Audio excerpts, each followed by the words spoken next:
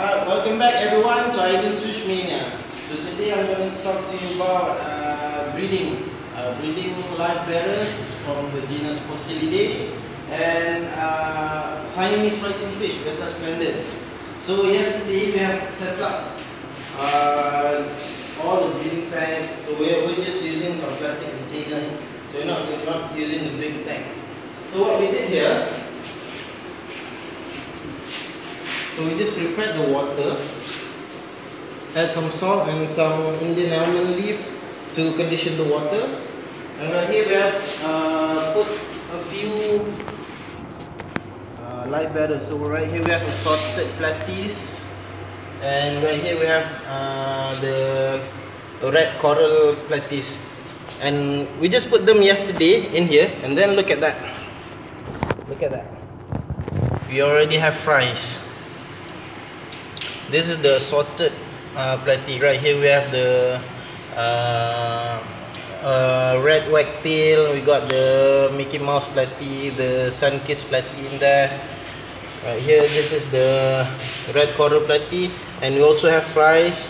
The fries are smaller than, than the normal platies so uh, what we're going to do today with this we're going to remove any of the females that looks like they, they have given birth and then we're going to leave the female that is still pregnant in here.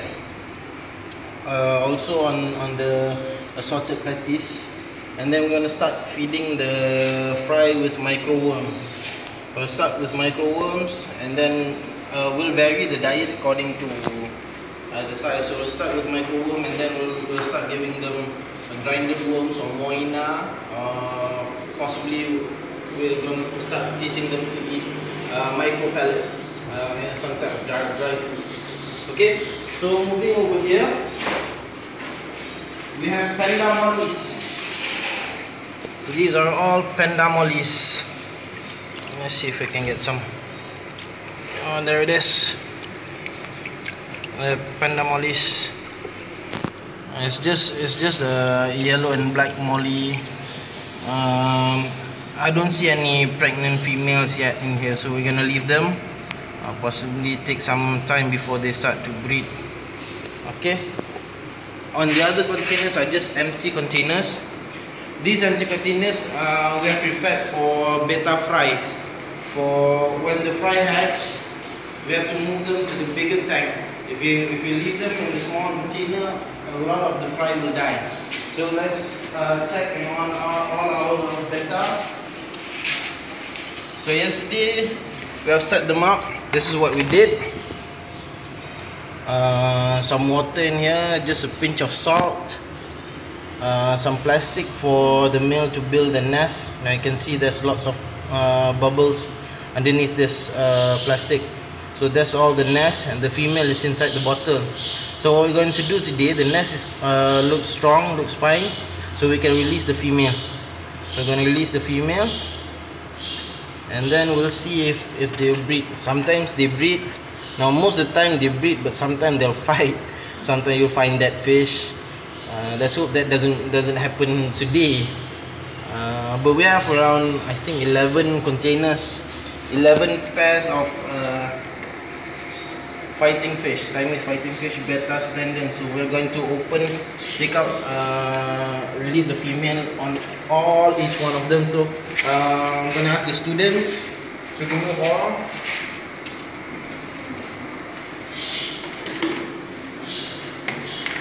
they will remove all of the uh, bottle that's separating the female from the male. Uh, make sure the, the nest is strong before you release okay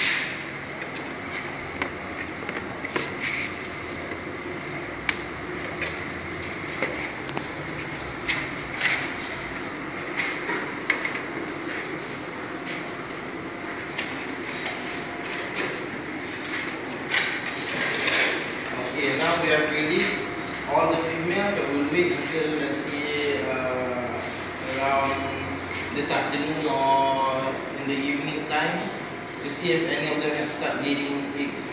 Possibly by tomorrow they'll they'll lay all the eggs. So right here on this shelf, right here, we have our wild bettas. And this is uh, all the Betta imbellis that we caught yesterday.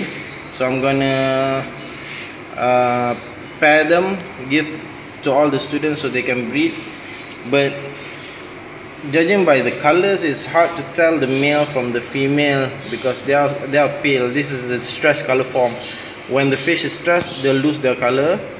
So what we're gonna do first is we're gonna separate them one by one and then leave them for a day or so and then we'll see which one develops the male color and the female usually you can tell the male from the female by the anal fin anal and dorsal fin but a lot of them has damaged fin so I cannot tell 100% which one is male or female. So the other way to ensure you, you get a pair is to separate them first and wait for the colors to develop. So we're gonna do that uh, later on today. Here's a beta splendens female copper female copper beta splendens. So what i'm going to do with this i'm to try to hybrid this fella with one of the Betta imbellis so we're going to do a hybrid with this fellow. One pair of hybrid the rest are pure uh, pure Betta imbellis uh, right here we have two pairs of Betta livida. Uh, okay there they are. These are Betta livida. We are not preparing them to breed right now. We're just trying to fatten them up first feed them. Uh, we're gonna set some plastic plants because it's dark here. You cannot put live plants it's gonna die. So we're gonna put plastic plants here and do some water change and, uh, and try to breed them. Uh, the Betta livida the male is, is the one with the spots the female is at the bottom. Here's the other pair. And the male is at the back no no the male is at the front the female is at the back. Okay? So this is our wild beta breeding setup at the shop. So the rest of the wild beta is at my house. I will do another video on that uh, soon. So I'll keep updating you guys on our progress. So I'll see you later in Idle Switch Mania. Bye bye.